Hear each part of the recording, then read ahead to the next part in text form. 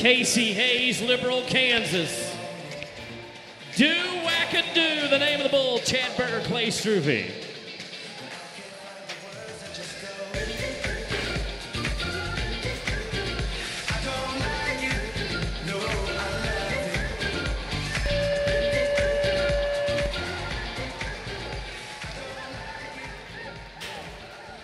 Well, folks, I don't know if you know this, but if you remember back in April, Kasey Hayes has not been on a bull since he sustained a compression fracture in his spine